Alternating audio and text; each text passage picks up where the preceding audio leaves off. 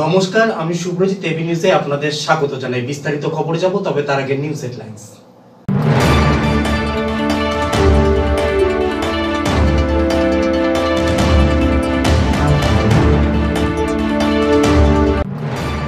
গত প্রায় এক মাসে করোনা সংক্রমণের ঊর্ধ্বমুখী গ্রাফে আজ অনেকটাই স্বস্তি শহর জলপাইগুড়িতে।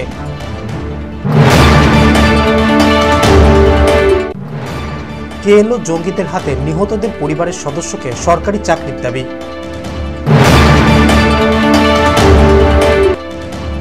দীর্ঘ বছরের রাসমেলায় এবার বাদ সাধল করোনা। জলপাইগুড়ি পোড়াপাড়ায় মেলা ছাড়াই নিয়ম রক্ষার রাস পুজো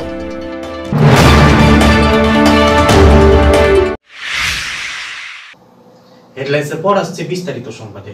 গত কিছুদিন জলপাইগুড়ি শহরে করোনার গ্রাফ যথেষ্ট ঊর্ধ্বমুখী ছিল। সেই তুলনায় আজ সোমবার অনেকটাই স্বস্তির খবর শহরে। জলপাইগুড়ি পুরো এলাকায় করোনার থাবা আজ অনেকটাই কম। জলপাইগুড়ি পুরসভার প্রশাসক বোর্ডের সদস্য সন্দীপ মাহাতো সাংবাদিকদের মুখোমুখি হয়ে জানান, আজ জলপাইগুড়ি শহরে করোনা পজিটিভের সংখ্যা মাত্র তিনজন। এদের বাড়ি ডাঙ্গাপাড়া মুহুরিপাড়া ও কলেজপাড়া এলাকায়। জলপাইগুড়ি বাসিন্দাদের কাছে তিনি আবেদন করেন, সবাই যেন সরকারি স্বাস্থ্যবিধি মেনে বাইরে চলাচল করেন। তুলনামূলকভাবে গত পনেরো দিনের মধ্যে আজকে করোনা যে টেস্ট আমাদের কাছে রিপোর্ট এসছে, সেটা সব থেকে কম। আজকে জলপাইগুড়ি শহরে তিনটে কেস রয়েছে। একটা কলেজ পাড়ায় সিরিজতলার ওখানে রয়েছে একটা মুহুরিপাড়া আর একটা হচ্ছে ডাঙ্গাপাড়ায় তো এই তিনটে ওয়ার্ডে রয়েছে চোদ্দ আঠেরো এবং একুশ। তুলনামূলক ধরে গত সপ্তাহে ধরে যা টেস্ট দেখছিলাম যেহেতু করোনা পেশেন্ট হচ্ছিল তার থেকে আজকে সংখ্যাটা খুব কম। তাই মানুষকে বলব যে আমাদের স্যানিটাইজেশনের কাজ সবকটা ওয়ার্ডে কমপ্লিট কোথাও কোনো পেন্ডিং কেস নেই আমাদের। পুরো দমে স্যানিটাইজ করেছে আজকে সকাল থেকে এবং কন্টেনমেন্ট জন্য ঘোষণা করা হয়েছে। আশা রাখি মানুষ যত সতর্ক থাকবে, এই ধরনের কেসের সংখ্যা কম আসবে। তাই মানুষের কাছে আরেকবার আবেদন করব। স্বাস্থ্যবিধি মেনে চলুন, সামাজিক দূরত্ব বজায় রাখুন, হাত স্যানিটাইজ করুন এবং পুরসভার কাজে আমাদেরকে সহযোগিতা করুন। কেএলও জঙ্গিদের হাতে নিহতদের পরিবারের সদস্যদের সরকারি চাকরি দেওয়ার দাবি উঠেছে। সেই দাবির কথা আজ জলপাইগুড়ি প্রেস ক্লাবে সাংবাদিক বৈঠক করে তুলে ধরলেন পরিবারগুলির সদস্যরা। দু হাজার এক সালের পর থেকে বিভিন্ন জায়গায় কেএলও জঙ্গিদের আক্রমণে খুন হয়েছেন একাধিক বাসিন্দা। কিছু মৃতের পরিবারকে রাজ্য সরকার চাকরি দিয়েছে। জানা গিয়েছে, চল্লিশ জন মানুষকে খুন হতে হয়েছিল কেএলও জঙ্গিদের হাতে। কিন্তু যেসব পরিবারগুলি ক্ষতিগ্রস্ত হয়েছে, ওই পরিবারের অনেকেই সরকারি চাকরি পায়নি বলে অভিযোগ। একাধিকবার রাজ্য সরকারকে নিজেদের সমস্যার কথা তুলে ধরা হলেও কোনো কাজ হয়নি। সোমবার সাংবাদিক বৈঠক করে নিজেদের দাবি তুলে ধরলেন ক্ষতিগ্রস্ত পরিবারের সদস্যরা। দ্রুত তাদের যোগ্যতা অনুযায়ী সরকারি চাকরির দাবি তোলা হয়েছে। এরপরেও তাদের দাবি পূরণ না হলে বৃহত্তর আন্দোলন নামার হুমকি দিলেন ক্ষতিগ্রস্ত পরিবারের সদস্যরা।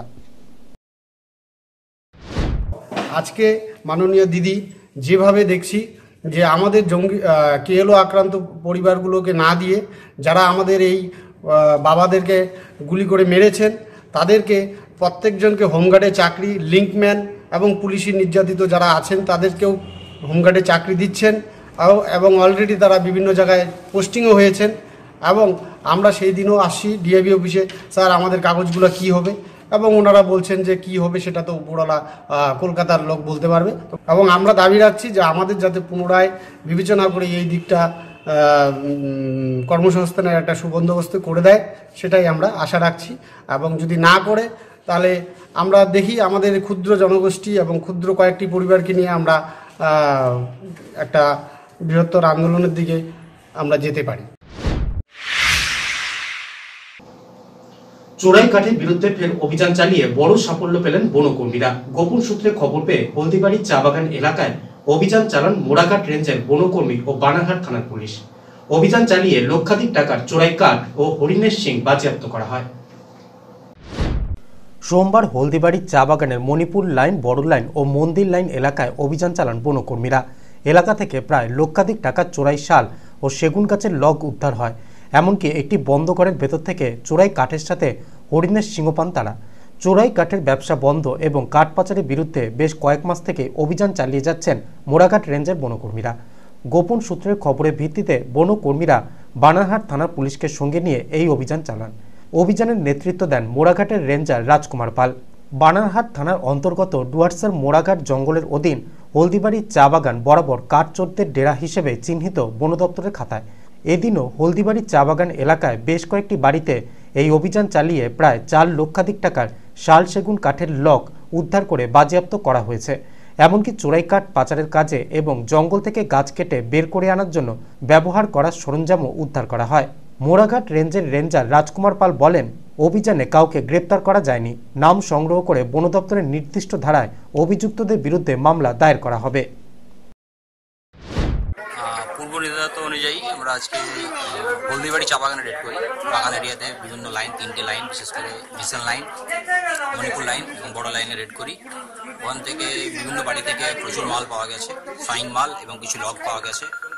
আনুমানিক তাও দুশো আড়াইশো সেফটি মতো মাল পাওয়া গেছে। যার বাজার মূল্য আশা করা যাচ্ছে চার লক্ষ কাছাকাছি হবে এবং একটি বাড়ি থেকে যেটা পাওয়া গেছে, সেটা হচ্ছে ওয়াইল্ড লাইফ আর্টিকেল হরিণের সিং পাওয়া গেছে এবং কিছু তীর ধনুক পাওয়া গেছে। এছাড়া ওর মধ্যে কিছু বাড়ি থেকে কিছু যেটা দিয়ে মাল টানে, ওরা জঙ্গল থেকে চুরি করে, যেমন বাইকের চাকা, কিছু ঠেলার বডি অ্যাক্সেল অ্যাক্সেল পাওয়া গেছে।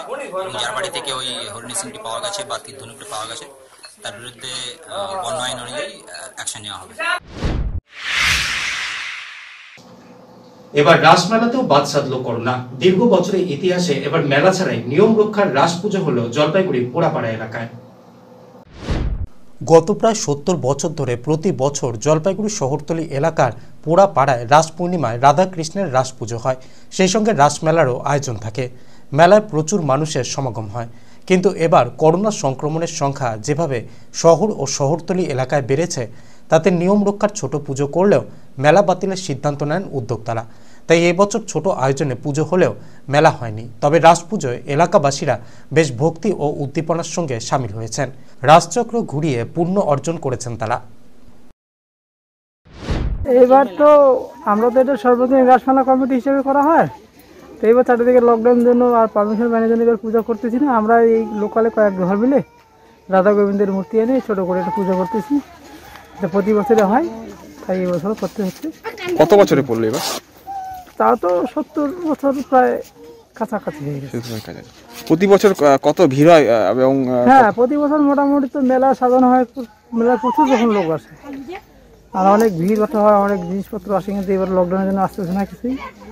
তো ছোটো করে শুধু খুলে আমরা পুজোটাই করতেছি। সময় এখন বিরতির সঙ্গে থাকুন।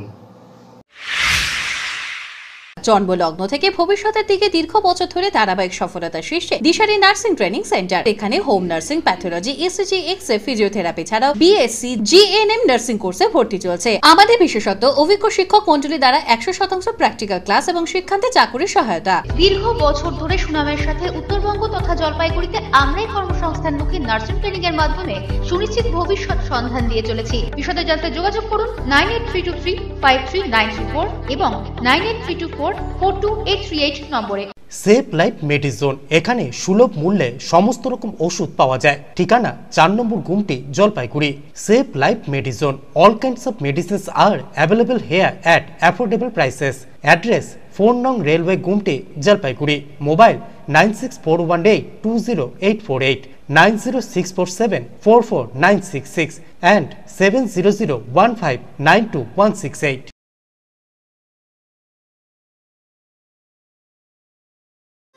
আগামী আঠারোই নভেম্বর দু হাজার কুড়ি বুধবার থেকে নতুন শিক্ষাবর্ষের অরুণ শ্রেণির ভর্তির আবেদনপত্র বিদ্যালয়ের কার্যালয় থেকে দেওয়া হবে। সময় দুপুর বারোটা থেকে দুটো পর্যন্ত ছুটির দিনগুলি বাদে।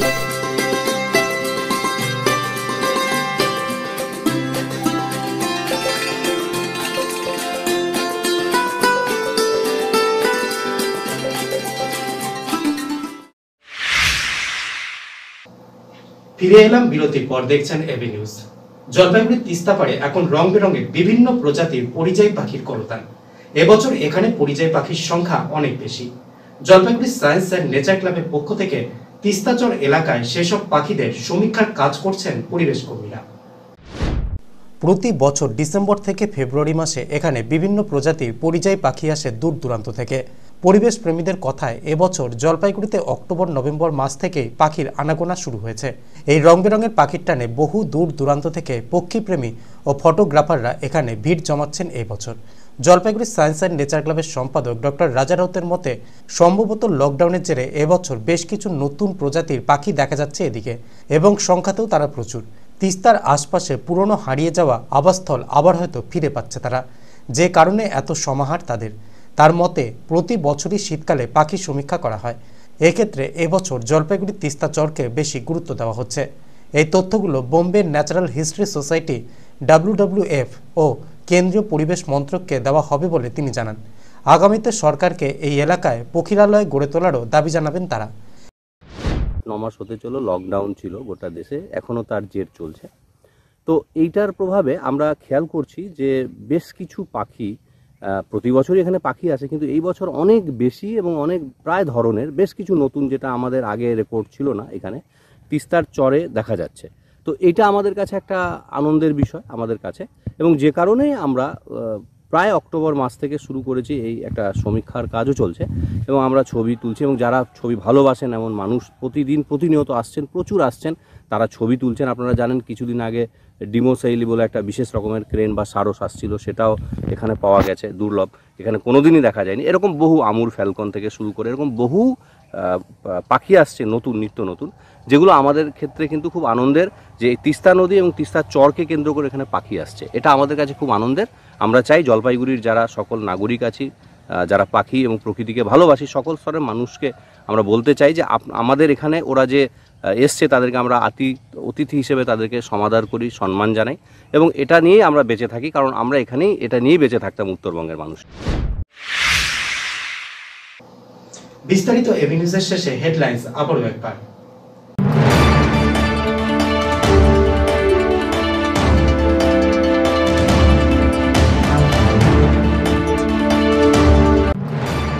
গত প্রায় এক মাসে করোনা সংক্রমণের ঊর্ধ্বমুখী গ্রাফে আজ অনেকটাই স্বস্তি শহর জলপাইগুড়িতে।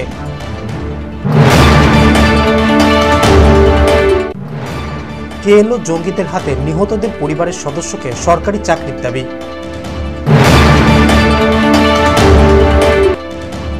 দীর্ঘ বছরের রাসমেলায় এবার বাদ সাধল করোনা। জলপাইগুড়ি পোড়াপাড়ায় মেলা ছাড়াই নিয়ম রক্ষার রাস পুজো